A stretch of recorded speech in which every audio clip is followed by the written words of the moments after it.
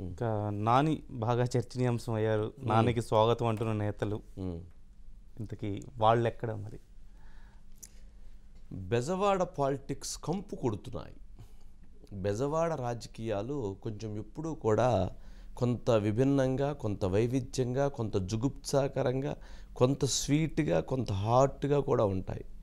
కానీ ఈ ఇప్పుడు ప్రతి సందర్భంలో అక్కడ ఒక ఇది ఉంటుంది. సరే ఇక్కడ ఏంటి ఈ పాలిటిక్స్లో వైసీపీలో ఒక మంటలు మండుతూ ఉన్నాయి టీడీపీలో ఒక మంటలు మండుతూ ఉన్నాయి. వైసీపీలో మంటలు ఏంటి అయోధ్య రామిరెడ్డి ఆయన వస్తే కేసినేని నాని వస్తే స్వాగతిస్తాం మంచిది అని చెప్పి ఆయన అన్నారు. వెంటనే పీవీపీ దానిపైన చాలా ఘాటైనటువంటి కామెంట్ని చేశాడు. ఏమని? ఆ, కేసినేని నానిపై పీవీపీ నువ్వు ఈ బిల్డప్ ఏందయ్యా? నువ్వేదో అల్లూరికి ఎక్కువ నేతాజీకి తక్కువ అన్నట్లుగా ప్రజాసేవ కోసం పుట్టానంటావు. సరే ఆయన ఏదో వ్యక్తిగతమైనటువంటి విమర్శలు చేశాడు తర్వాత ఎన్నికల బరిలో దొల్లుకుంటూ వద్దు అన్న పీవీపీ. సరే ఇట్లాంటి ఆయన చేశారు ఆయన ఎవరు? మళ్ళీ ఆయన కూడా వైసీపీ. ఒకరు స్వాగతిస్తున్నారు ఒకరేమో ఇది చేస్తున్నారు. సరే కేసీఆర్ నాని ఈ మధ్యకాలంలో పాల్గొన్నటువంటి ప్రతి ప్రోగ్రాం కూడా వైసీపీ ఎమ్మెల్యేలతో కలిసి పాల్గొన్నారు. ఇంకెవరు అలా రాష్ట్ర వ్యాప్తంగా ఏ తెలుగుదేశం పార్టీ నేత అలా పాల్గొనలేదు. ఆయన ఒక్కడే వైసీపీ వాళ్ళతో కలిసి పాల్గొంటున్నాడు. నేను ఏ పార్టీ నుంచి అయినా పోటీ చేస్తున్నది నా ఇష్టం. నేను ఇండిపెండెంట్గా మాత్రం ఫోన్ పోటీ చేయకూడదా? ఇట్లాంటి కామెంట్స్ చేస్తున్నారు. అంటే ఇవన్నీ కూడా కొంత రాజకీయంగా కొంత మంట పుట్టించేటువంటి అంశాలే. ఇవన్నీ చిన్న అంశాలేం కాదు మంట పుట్టించేటువంటి అంశాలు. కాకపోతే కేసినేని నాని చేస్తున్నటువంటి కామెంట్స్తో టీడీపీలో కొంత చర్చ జరుగుతుండేది. ఇక్కడ ఫైర్ మొదలవుతుండేది. కానీ వైసీపీలో ఫైర్ మొదలవుతుండేది. ప్రధా ఫైనల్గా జరగబోయేటువంటిది ఏంటి అని అంటే కేసినేని చిన్ని విజయవాడ పార్లమెంట్ నుంచి పోటీ చేయబోతున్నారనేది తెలుగుదేశం పార్టీలో అంతర్లీనంగా విస్తృతంగా జరుగుతున్నటువంటి చర్చ. దీంతో ఆయనకి వాళ్ళ అన్నలదమ్ముల ఇద్దరి మధ్య జరుగుతున్నటువంటి ఒక రాజకీయ సమర సంగ్రామంలో ఆయన అక్కడ తట్టుకోలేకపోతున్నాడు. దాంతో ఆయనకి అక్కడ ప్లేస్ లేదని అర్థం అవడంతో ఆయన వైసీపీ పార్టీ వైపు ట్రావెల్ చేస్తున్నాడు ఆ ఎమ్మెల్యేలతో. ఆ రకంగా ఇప్పుడు ఆయన వైసీపీకి వెళ్ళబోతున్నాడు ఆల్మోస్ట్ క్లియర్ అయిందని చెప్తున్నారు. అంటే టీడీపీ ఎంపీగా ఉన్నటువంటి కేసీనేని నాని టీడీపీలో రెండుసార్లు ఎంపీ గెలిచినటువంటి కేసీనేని నాని వైసీపీకి వెళ్ళి కంటెస్ట్ చేయబోతున్నాడు. కేసీనేని చిన్ని ఎవరైతే వాళ్ళ సొంత తమ్ముడు ఉన్నాడో తను ఇప్పుడు రాజకీయ అరంగేట్రం అంటే తెలుగుదేశం పార్టీలో ఉన్నారు కానీ కానీ పూర్తిగా ఎన్నికల బరిలోకి ఇప్పుడు వెళ్ళి ఆయన ఉంచబోతున్నారు. అంటే అన్నదమ్ముల మధ్య ఒక వైసీపీ ఒక టీడీపీ మధ్య ఒక పెద్ద భీకరమైనటువంటి ఒక యుద్ధం జరగబోతుంది. ఆ యుద్ధం చాలా రాజకీయంగా రసవత్తరంగా ఉంటుందన్నమాట. సరే ఇదొక పరిణామం. కానీ ఇక్కడ ఈ పాలిటిక్స్లో ఎవరు గెలుస్తారు అన్నది చాలా కీలకమైనటువంటి అంశం. సరే గెలుపు ఓటములు ప్రభావం అన్నటువంటిది ప్రభుత్వాల మీద ఉన్నటువంటి వ్యతిరేకత ప్రతిపక్షం ఉన్నటువంటి బలాలను బట్టి ఇవి చోటు చేసుకునేటువంటి అంశాలు. సరే ఇక దీనికి సంబంధించి కొంచెం లోతుగా వెళ్ళి డెప్త్గా కూడా చెప్పవచ్చు. కానీ అంత లోతుగా వెళ్ళి అంత డెప్త్గా చెప్పడం ఇది సరైనటువంటి సందర్భం కాదు. కావున దీన్ని ఇప్పటికి ఇంతటితోటి ఆపేద్దాం మనం గాంధీ ఉన్నారా? గాంధీ ఉంటే గాంధీ చెప్తాడు. Gandhi Gandhi. Good evening. Good evening Gandhi. అంటే నేను ఎక్కడ నన్ను ఎందుకు పట్టించుకోవట్లేదని పీవీపీగా రంగప్రవేశం చేసినట్టున్నారు. నన్ను ఎక్కడ మళ్ళీ మిస్ చేస్తున్నారేంటి మీరు అందరు కలిసి నేనున్నానని చెప్పని. అంతేనా? అంటే ఆయనే పట్టించుకోవట్లేదు. యాక్చువల్గా రెండు కంటెక్ట్ చేసి ఓడిపోయిన తర్వాత ఏదో ఒక రెండు మూడు నెలలు అక్కడ కనిపించారు తర్వాత మళ్ళీ ఏ పార్టీ కార్యక్రమాలు ఎక్కడా కూడా సీఎం కార్యక్రమాల్లో కానీ పార్టీ కార్యక్రమాల్లో కానీ పీవీపీ గారు ఎక్కడ కనపడలేదు. అది కనపడకపోవడానికి కారణం ఏంటి? ఆయనకి అనాసక్తిగా ఉన్నాడా పోటీ చేయడానికి లేకపోతే పార్టీ ఆయనకి ఇంపార్టెన్స్ ఇవ్వట్లేదా. వేరే వేరే కారణాలు. కాకపోతే ఇట్లాంటి అంశాలు ఎందుకంటే కేసీఆర్ నాని గారికి ఆయనకి ఇద్దరు అగర్భ శత్రువులాగా పార్టీలో తెలుగుదేశం పార్టీలో రెండు వేల పద్నాలుగులో ఆయన కూడా సీట్ కోసం ట్రై చేయటం ఒక వర్గం ఆయన సీట్ ఇప్పించాలని చెప్పి ట్రై చేసి సీట్ ఇచ్చేస్తారన్న క్రమంలో కేసీఆర్ నాని గారు వెళ్ళి చంద్రబాబు గారు హైదరాబాద్ ఇంట్లో ఉండేవాళ్ళు. అక్కడికి వెళ్ళి చాలా బ్లాస్టింగ్ కామెంట్స్ చేశారు టీవీపీ మీద అసలు. మామూలు కామెంట్స్ కదా అంటే అవి మనం మాట్లాడుకోవడం కూడా అనవసరం.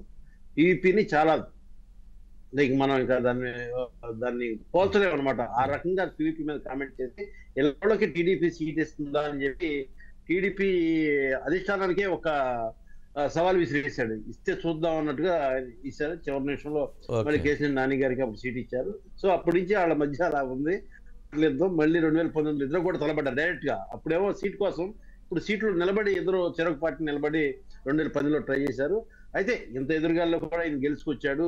ఆ తర్వాత ఎంత కామన్ అయిపోయింది అప్పటి నుంచి మళ్ళీ ఎవరు ఆ, ఆయన పార్టీ తరఫున కానీ లేకపోతే ఈయన పార్టీ తరఫున ఈయన- ఈయన ఆయన విమర్శించడం కానీ ఎప్పుడు జరగలేదు. ఇప్పుడు సడన్గా మళ్ళీ వైసీపీలోకి వస్తున్నాడు అనే టాక్ అలాగే అయోధ్య రామరెడ్డి గారు కూడా ఒక వెల్కమ్ పలకటం ఇవన్నీ కూడా చూసిన తర్వాత మరి ఆయన ట్వీట్ ఇచ్చారు. అంటే ట్వీట్ కూడా వ్యక్తిగతమైనటువంటి ఆరోపణలు తప్పితే ఎక్కడా కూడా పార్టీకి సంబంధించిన అంశంలో ఆయన ఎక్కడ మాట్లాడలేదు.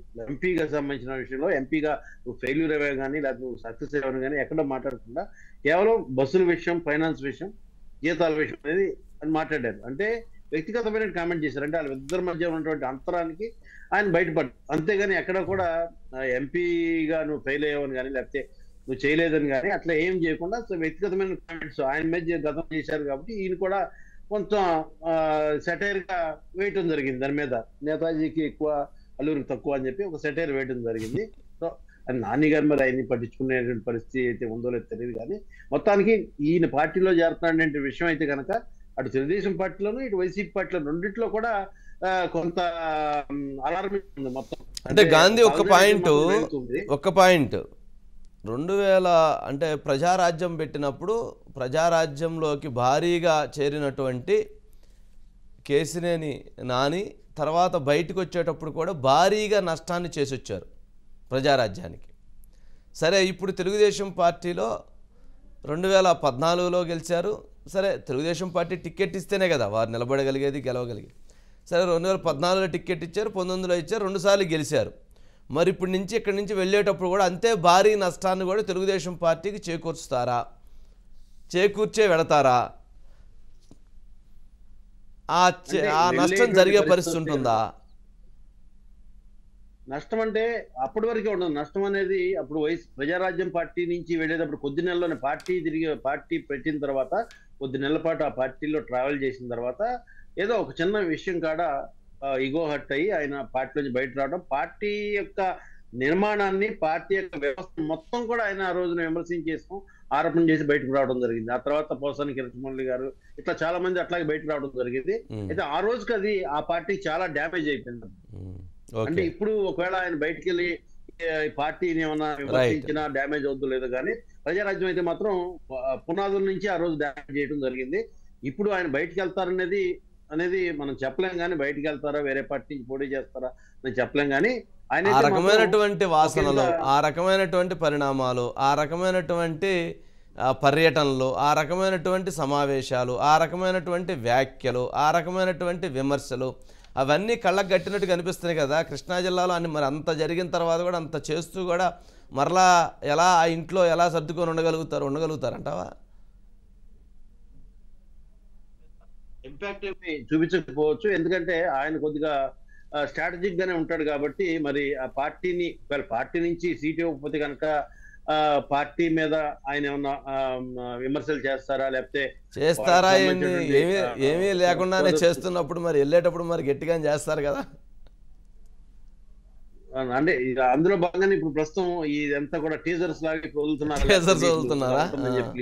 ప్రోమోలు వస్తా లాగా టీజర్స్ వదులుతున్నారు. ఎందుకంటే అటు నందిగామ అటు నందిగామ ఇక్కడ మైలవరం రెండు నియోజకవర్గాలు ఈ నాలుగేళ్ళలో వీళ్ళు ఎక్కడ కూడా కలుసుకున్న పరిస్థితి లేదు. ఏ కార్యక్రమంలో వేదిక పంచుకున్న పరిస్థితి లేదు. ఎక్కడ కూడా వీళ్ళు బ్యానర్ల మీద ఎక్కడ అంటే ఇంటర్నల్గా ఏమన్నా కాంటాక్ట్స్ ఉన్నా గానీ బయట ఎక్కడ పడలేదు. యా. ఇప్పుడే వచ్చి ఆయన కేసీఆర్ నాని గారు గాంధీ మరొక. అంశం చెప్పు. అనేది కొంత ఇంకొక అంశం చెప్పు. అంటే ఇప్పుడు కృష్ణా జిల్లాలో ఎవరు కొడాలి నాని వల్లభనేని వంశీ మరి ఇప్పుడు ఇద్దరు అక్కడ తెలుగుదేశం పార్టీ మీద దాడి అంటే అది దాడి అది మామూలు దాడి కాదు మాటల దాడా లేదా బూతుల దాడా లేకపోతే దాడి. మరి అటువంటి దాడి చే జరుగుతున్న సందర్భంలో మరి కేసినేని నాని కూడా ఆ జట్టు వైపు వెళితే అది ఇంకా మరింత తీవ్రంగా ఉంటుందా? ఏంటి? అది ఎలా చూడవచ్చు వాళ్ళిద్దరి మధ్య వాళ్ళిద్దరికీ వీరికి మధ్య కాంబినేషన్ ఉందా?